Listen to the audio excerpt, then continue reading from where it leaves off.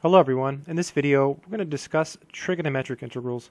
In particular, we're going to talk about integrals involving powers of secant and tangent. So powers of secant and tangent. This is a little bit harder, or I probably should say much harder, than powers of sine and cosine. So the level of difficulty goes up pretty quickly um, compared to sine and cosine. There's a couple cases that are actually uh, fairly simple. The first case is if you have an even power of secant. So if the power of secant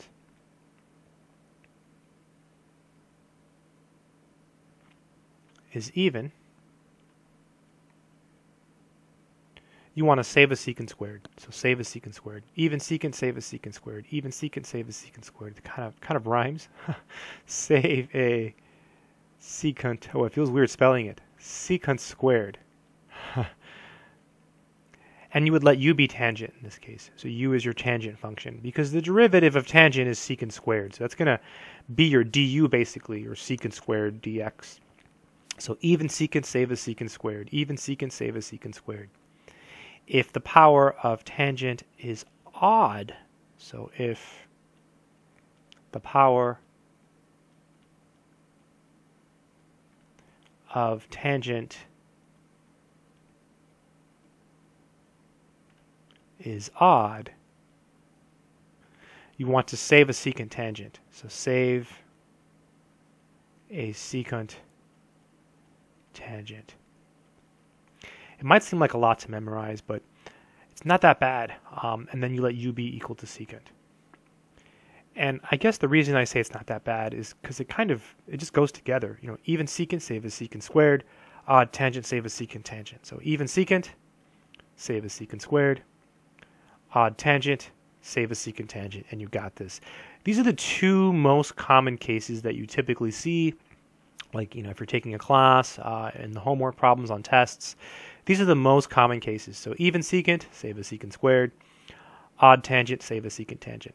There's two more cases which are a little more challenging which they do come up. So this one is if you have uh, a lone just wanted to use that word a lone even power of tangent. Like tangent squared or tangent to the fourth or even even worse tangent to the sixth. Let's let's not go there. Tangent to the 10th power. Uh, and, and, no secants so just an even power of tangent by itself. Something like this you want to use identities. So use identities. The identity you want to use is 1 plus tan squared is equal to secant squared. That means that um, that would mean that uh, tan squared is equal to secant squared minus 1.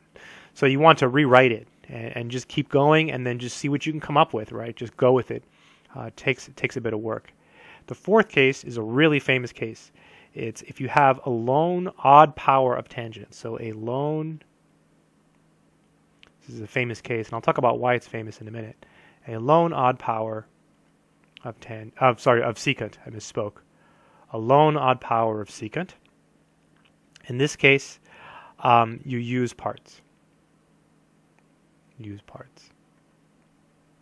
The classic example here is the integral of secant cubed. I first saw this in a differential equations class, actually, and I had never seen it in, in Calc 2. But it is a Calc 2 problem.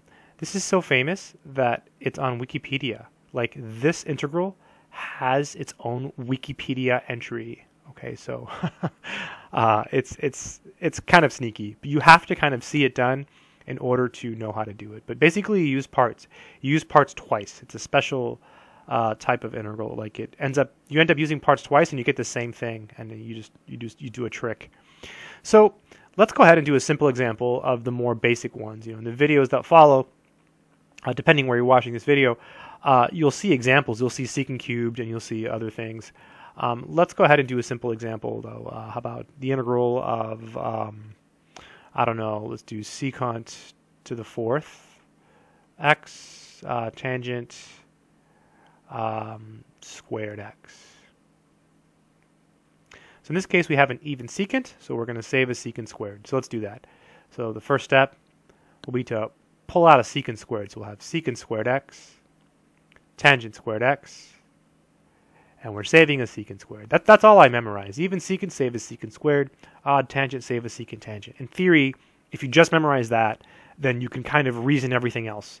That way you're memorizing the least amount of information possible, uh, and you're learning it better. So we've saved the secant squared. So because we did that, that means our, our u has to be tangent, because the derivative of tangent is secant squared. So I'm going to go ahead and write that here. u is tan x, just, just to help myself. So that's okay, right? No problem there. But that's not okay, because u is tan x. So we know secant squared is 1 plus tan squared. So this is equal to the integral of 1 plus tan squared x tan squared x secant squared x dx. So now we're in a good place. Okay, now we're, we're ready to make our substitution because we have all our tangents here. So du is secant squared x dx. And now let's make that u sub. So this will be equal to 1 plus u squared. And then uh, u squared du. Beautiful. Really, really nice. So again, even secant, save a secant squared. Then you have to think here, okay, you saved a secant squared. That means u must be tangent. So, okay, that's good. That's no good. We got to get rid of it. We got to make it a tangent. So we use an identity. Make it a tangent. Now we're good. So now we compute our du. We make our u sub, and life is good. Let's distribute this u squared. This will be u squared plus u to the fourth, and then we have our du. Then we just integrate using the power rule, so it'll be u cubed over 3 plus u to the 5 over 5 plus c. And then u was tangent of x, so we get tan cubed x over 3 plus uh, tangent to the 5 x over 5 plus c. And that would be the final answer. Uh, I had a thought. What if, what if we had secant to the fourth tangent cubed? Then you could have saved a secant tangent. And what happens is, when you have something like this, you could do it two different ways, and you'll get two different answers. And they won't look the same, but they actually are. So, so like it's okay.